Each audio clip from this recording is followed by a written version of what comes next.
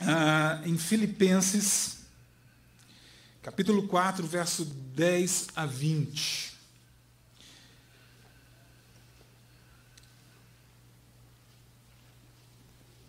Normalmente acaba o quê? 10 e meia, pastor, o nosso culto matutino, é isso? É mais ou menos isso? 10 e meia, 10 e 15? 10 e 20? Muito bem, então vamos lá. Diz assim o texto, Filipenses 4, 10 a 20. Alegrei-me sobremaneira no Senhor, porque agora uma vez mais renovastes a meu favor o vosso cuidado, o qual também já tinhais antes, mas nos faltava oportunidade. Digo isto não por causa da pobreza, porque aprendi a viver contente em toda e qualquer situação. Tanto sei estar humilhado como também ser honrado. De tudo e em todas as circunstâncias já tenho experiência, tanto de fartura como de fome, assim de abundância como de escassez.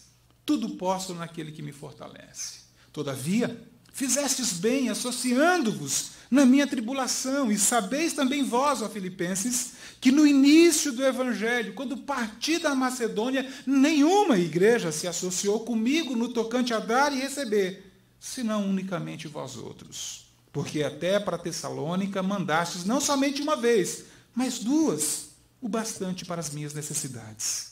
Não que eu procure o donativo, mas o que realmente me interessa é o fruto que aumente o vosso crédito. Recebi tudo e tenho abundância, estou suprido desde que Epafrodito me passou as mãos, o que me veio da vossa parte, como aroma suave, como sacrifício aceitável e aprazível a Deus.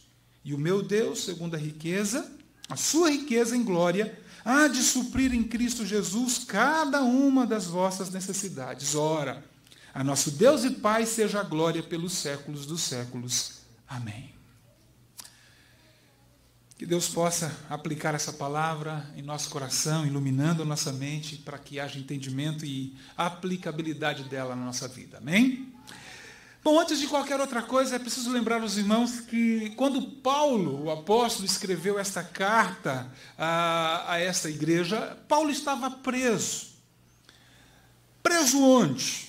Alguns dizem que ele estava preso em Cesareia, outros dizem que em Éfeso, e a maioria dos estudiosos uh, entende que Paulo estava preso em Roma.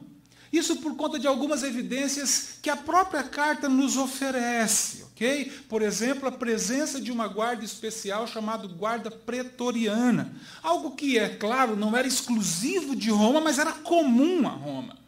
Uma outra questão é a menção que Paulo faz aqui de sua possível iminente morte. Ora, como o apóstolo havia apelado a Roma como cidadão romano que era, se estava já uh, a sua morte sendo algo iminente, Paulo só poderia estar em Roma. Então, por conta disso, muitos creem, inclusive esse que vos fala, que Paulo de fato estava em Roma. Bem, independentemente de qual dessas cidades ele estava escrevendo, o que certamente nós podemos afirmar é que Paulo estava longe, mais longe ou menos longe de Filipos, ou da igreja ali em Filipos, sendo missionário em cadeias por causa de Cristo Jesus. Mas Paulo não estava só. Paulo, mesmo distante, preso, provavelmente então em Roma, Paulo podia contar com a parceria da igreja de Filipos com ele. E como isso de fato fazia diferença, meus irmãos, naquele contexto de obra missionária onde Paulo estava em um campo distante. Podemos ver isso a título de exemplo, quando o próprio apóstolo Paulo, por direção divina então, esteve ali na região da Macedônia para plantar a igreja de Cristo ou igrejas de Cristo ali. Nessa região ele passou por tribulações intensas e variadas. Diz ele ao escrever aos Coríntios: porque chegando nós à Macedônia, nenhum alívio tivemos, pelo contrário, em tudo fomos atribulados, lutas por fora, temores por dentro. O livro de Atos nos mostra um pouco da natureza dessas tribulações da qual Paulo fala aqui aos Coríntios. Paulo e Silas foram arrastados para a praça, tiveram suas roupas rasgadas, foram açoitados, muitas vezes fustigados com varas, jogados no cárcere e amarrados ao tronco. Mas veja que coisa maravilhosa.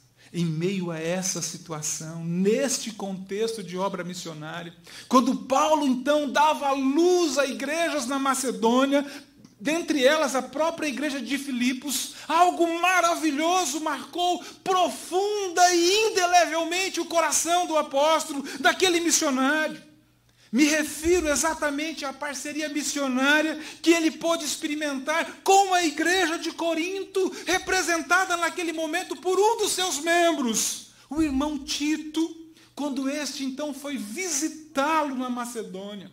Tito encontra exatamente naquela situação onde ele estava atribulado, em lutas por fora, em temores, rasgando a sua alma por dentro. E a chegada de Tito a Paulo foi como um feixe da luz, da graça de Deus ao coração do apóstolo. Suas palavras são estas, porém, Deus que conforta os abatidos, nos consolou, isto é, nos fortaleceu, nos animou, nos deu alegria com a chegada de Tito. Isso ele escreve aos Coríntios, mostrando a sua alegria e a sua gratidão a terem enviado o irmão Tito até ele. O que Paulo experimentou ali foi exatamente o que David Brainerd o grande missionário americano entre os índios pele vermelhas, durante os anos de 1743 a 1748, queria ter experimentado. Pois durante esses anos de missões, entranhado nas matas, montanhas, vales, debaixo de chuvas e tempestades de neves, por vezes adoentado de tuberculose e outras moléstias mais, físicas e emocionais, esse homem verteu lágrimas em choros, desejando profundamente ter um irmão ao seu lado, um irmão em Cristo, para que pudesse lhe ser fonte de ânimo, consolo, de tranquilidade, enfim. Uma igreja parceira que tivesse lhe enviado um de seus membros para que lhe fosse um agente da graça de Deus, para que em comunhão com ele, então, lhe pudesse aliviar as suas dores, as suas agruras. Paulo pôde experimentar isso. E ele disse: Ah, como foi maravilhoso. O que eu e você podemos aprender com essas histórias? Aprendemos que a parceria no contexto da obra missionária é algo de extrema necessidade e importância. Assim, o tema que quero abordar neste momento com os irmãos é a importância da parceria entre a igreja local e o missionário no campo distante. Definir missionário aqui é importante, porque, na verdade, se formos olhar a ordenança de Cristo, todos nós devemos ser missionários. Afinal de contas, todos nós devemos pregar o Evangelho. E, de, portanto, não é, não é algo só para alguns, mas é uma ordenança que deve alcançar a todos, fazer discípulo em todas as nações. Você deve fazer discípulo aqui, com seu vizinho, na sua escola, enfim, onde você estiver. Mas me refiro, quando falo missionário aqui nesse tema, estou pensando naqueles que estão distantes, ok? A parceria entre a igreja local e o missionário no campo distante produz, em primeiro lugar, alegria no Senhor. Ou melhor, produz comunhão geradora de alegria no Senhor. Eu repito, a parceria entre a igreja local e o missionário no campo produz comunhão geradora de alegria no Senhor. O verso 10 nos diz: Alegrei-me sobremaneira no Senhor, porque agora, uma vez mais, renovastes a meu favor o vosso cuidado, o qual também já tinhas antes, mas vos faltava oportunidade. Que ensino maravilhoso nós podemos ter aqui, vemos aqui, meus queridos irmãos. A comunhão aqui está claramente demonstrada na seguinte expressão: Uma vez mais renovastes a meu favor o vosso cuidado. A parceria da igreja de Filipos com Paulo agora gerando uma comunhão, colocada aqui pela expressão cuidado. Essa palavra cuidado nesse texto, olhando para a língua original grego, não é? O grego koiné, que foi escrito no Novo Testamento. Essa palavra significa ser do mesmo pensamento, isto é, concordar, compartilhar os mesmos pontos de vista, ser harmonioso, ter comunhão profunda, intensa. Ou seja, o que Paulo está dizendo aqui é o seguinte: mesmo estando longe de vocês, mesmo estando impedido de estar na presença de vocês, muito me alegra saber que uma vez mais o coração de vocês continua sendo um com o meu coração. Muito me traz regozijo e alegria saber novamente que a parceria que temos, que temos vivido nos faz, ainda que distantes, sermos do mesmo pensamento, temos o mesmo objetivo. Não ter esquecido Paulo no campo missionário lá distante. Pelo contrário, ter mantido parceria com ele, produziu entre essas duas partes, Paulo e a igreja de Filipos, uma verdadeira unidade, que por sua vez foi geradora de grande alegria no coração do missionário. Alegria no Senhor em meio às suas labutas, alegria no Senhor no coração do apóstolo em meio às dificuldades naturais do campo missionário. Alegria no Senhor, que sequer poderia ser mensurada, explicada, definida. É por isso que Paulo disse que essa alegria no Senhor, desencadeada então por esse processo de parceria que gerou unidade, então essa alegria, ela é descrita aqui como sendo uma alegria sobremaneira. Foi assim que Paulo adjetivou essa alegria no Senhor gerada por essa parceria, uma alegria sobremaneira, uma alegria que não dá para medir, uma alegria que não dá para dizer foi assim ou assado, é desse tamanho, ela é sobremaneira. O meu coração se regozijou de forma intensa, profunda, sobremaneira no Senhor, quando eu recebi de vocês Epafrodito, trazendo ah, notícias de vocês, de que vocês ainda ah, estão comigo, que vocês são um comigo, pensam a mesma coisa, objetivam a mesma coisa. Estamos juntos. E o que é que nós podemos aprender aqui? Aprendemos que é dever nosso é dever da igreja jamais esquecer os missionários do campo. Não podemos. A igreja não pode fazer isso. É dever da igreja não apenas enviar os missionários e dizer, vá com Deus, Deus os abençoe, faça uma boa obra. Culto de envio. Deus abençoe, agora vai. Não. É dever da igreja estar unidos a eles, manter comunhão, unidade com os enviados, para que estes não se entristeçam na frente da batalha, nos campos missionários, pelo contrário, tenham alegria no Senhor sobremaneira. Aprendemos que, como igreja, devemos nos lembrar constantemente daqueles que foram enviados, mandando-lhes notícias, reafirmando o nosso amor e comunhão para com eles. É muito comum a gente ouvir falar de carta dos missionários à igreja. E até mesmo escutar muitas vezes igreja reclamando que o missionário não está mais mandando notícia. Igreja reclamando de que o missionário não está mais, sabe, se comunicando com ela. E a pergunta é: quando é que essa igreja fez comunicação com o missionário? Poucas vezes ouvimos falar de igrejas que estão remetendo carta constantemente aos missionários. Ouvimos falar de pessoas que se unem umas às outras na igreja para poder então ali enviar algo em nome da igreja, mostrando que são um só coração com aqueles que estão distantes. Mas isso é dever da igreja. Você já fez isso? Já participou de alguma coisa nesse sentido? Segunda coisa que aprendemos aqui é o seguinte: a parceria entre a igreja e o missionário no campo a parceria entre a igreja local e o missionário no campo distante produz associação. É interessante observarmos aqui o termo associação.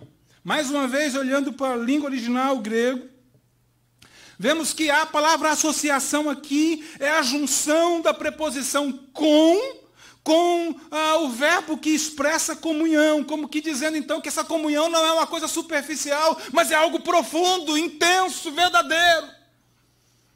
No verso 14, Paulo nos diz assim: Todavia fizestes bem, associando-vos na minha tribulação. O que significa então que Paulo estava dizendo que a atitude da igreja em se associar com ele era o mesmo que entrar em comunhão com ele, isto é, tornar-se um participante integral da vida de Paulo. Não era uma coisa superficial. O verso 15, Paulo faz questão de mostrar que a igreja de Filipos foi a única igreja da região da Macedônia que teve este comprometimento com ele. Os de Bereia, os de Tessalônica, por alguma razão, não tiveram a mesma atitude, falharam como apóstolos, se assim podemos dizer. Não, eles não tiveram comunhão comigo. Era como que Paulo estivesse dizendo exatamente isso. É assim que Paulo escreve o verso 15. Essas igrejas não agiram com a unidade ou comunhão comigo como vocês. O verbo grego aqui Comunhão é koinonel, de onde vem a palavra koinonia, que nós conhecemos. Ah, até utilizamos, às vezes, o ministério da koinonia, da comunhão. Ah, vamos em tempo de koinonia. Ou seja, Paulo está dizendo, eles não tiveram koinonia comigo. Eles, por não serem parceiros dele, consequentemente também não tiveram associação com ele. Não se comprometeram com a vida e o ministério do apóstolo. Assim é a igreja de Filipe por ter sido a única que teve comunhão, ou seja, entrou em parceria com ele, foi também a única que se associou com o apóstolo, se envolvendo em sua vida, sendo-lhe bênção no campo distante. O que, por sua vez, sua vez, neste caso, significou, entre outras coisas, ter enviado uma provisão financeira para suprir as necessidades do apóstolo naquele momento. E aqui penso que seja importante fazer uma distinção entre alguns termos. Estar associado a alguém não é o mesmo que simplesmente ajudar alguém, contribuir, colaborar, doar ou ser mantenedor de alguém. Um mantenedor mantém algo ou alguém, um contribuinte contribui com algo ou alguém, um colaborador colabora com algo ou alguém, um ajudador ajuda algo ou alguém, um sustentador sustenta algo ou alguém. E tudo isso pode ter sua validade dependendo do contexto ou da situação, mas não é isso o princípio bíblico que nós encontramos aqui entre o envolvimento que deve existir entre a igreja e o missionário no campo. Todas essas ações, querido, refletem um movimento de uma parte para com outra, ajudar, a manter, sustentar, colaborar. Apenas um movimento de uma parte para com outro. Ontem mesmo eu fui no CONIC, né? Ah, meu filho quebrou a perna do óculos, fomos atrás de um hospital de óculos lá para resolver isso. E uma, uma, uma, mulher estava na calçada pedindo uma ajuda para um tratamento de câncer. Eu fui lá e ajudei aquela mulher, mas eu não me envolvi com o drama, com a vida dela. Ou seja, foi um movimento da minha parte para com ela. O que o texto está dizendo aqui é algo que é muito maior do que isso.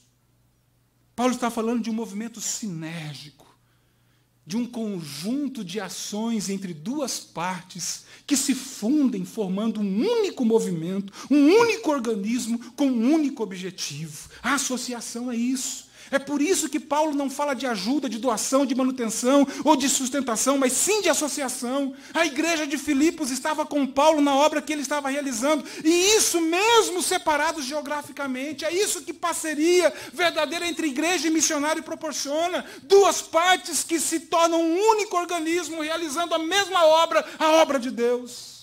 De modo que a igreja, aquela que envia, está comprometida com o missionário, o enviado, em todas as áreas da sua vida e está lá no campo por meio dos pés e dos lábios do missionário, fazendo a obra com ele. Então aprendemos aqui que Deus não quer simplesmente que ajudemos, mas que vivemos associação verdadeira, genuína. Por fim, e já passando do tempo um pouco, mas tenho que entrar nesse ponto porque exatamente aquilo que eu vi aqui no começo desse culto, quando foi colocado aqui a questão da hora de trazer os dízimos e a oferta ao Senhor. Pastor Fábio disse: agora é hora de adorar com os nossos dízimos e as nossas ofertas. E eu quero mostrar para você, querido, que a parceria entre a igreja local e o missionário no campo distante produz adoração. Produz adoração. O texto diz assim, verso 18: Recebi tudo e tenho abundância, estou suprido desde que Epafrodito me passou as mãos o que me veio da vossa parte, como aroma suave, como sacrifício aceitável e aprazível a Deus. Paulo uh, percebe então aqui que a parceria entre a igreja e ele produzia a adoração, isso mesmo, um ato de adoração. Por que, que eu digo isso? Porque Paulo toma emprestado essas expressões do livro de Levíticos. Exatamente quando o povo deveria levar as suas ofertas para o sacerdote e colocar diante do altar do Senhor, Deus, ao prescrever, diz: Isso vai ser para mim oferta suave, sacrifício agradável a mim. Ou seja, eu vou receber como um ato de adoração que vai ser como que, uh, sabe, um aroma que vai adentrar as minhas narinas e alegrar, recrear o meu coração. E Paulo então olha para a atitude da igreja de Filipenses, exatamente como um ato de adoração, quando vocês enviaram para mim o recurso que me foi entregue pelas mãos de Epafrodito, um aroma suave subiu nas narinas de Deus e Deus recebeu aquela oferta como um ato de adoração a Ele. Veja que Paulo enfatiza exatamente isso, antes da ajuda, antes do recurso ser suprimento da sua necessidade, foi um ato que adorou, que exaltou, que glorificou o Senhor Senhor das missões, Deus. Entende isso, querido? Paulo está dizendo que a obra missionária é uma oportunidade que a igreja tem de se envolver com ela, para que assim ela possa ser ainda mais a comunidade cumprindo o propósito para o qual Deus a criou, a adorá-lo. Com isso nós aprendemos, querido, que quando nós nos envolvemos com uma obra missionária, nos dispondo a ir, orando por ela e metendo a mão no nosso bolso, investindo para que aqueles que estão distantes tenham suas necessidades supridas. Nós estamos fazendo através desses atos, através dessas ações, nada mais, nada menos do que cumprir a nossa finalidade para a qual fomos criados: adorar, glorificar e nos alegrar em Deus. É por isso que Paulo diz: Olha, o que vocês me enviou me supriu tudinho, tá? Ó, até sobrou uma graninha. Não. Antes de qualquer coisa, Paulo diz: Isso foi aroma suave, sacrifício agradável a Deus. Então, queridos, aprendemos aqui que quando a igreja é oportunizada com um projeto missionário, não estou dizendo apenas do projeto missionário Boas Novas para Nova Zelândia. Mas qualquer ação missionária, a igreja está tendo a oportunidade de adorar a Deus de mais uma forma. Que Deus possa abençoar você, querido. Abençoar cada dia mais a nossa vida e possamos ser instrumentos nas mãos de Deus, nos unindo àqueles que vão, para que possamos produzir alegria no Senhor no coração deles lá distante, possamos nos associar a eles e possamos adorar a Deus. Amém? Deus os abençoe.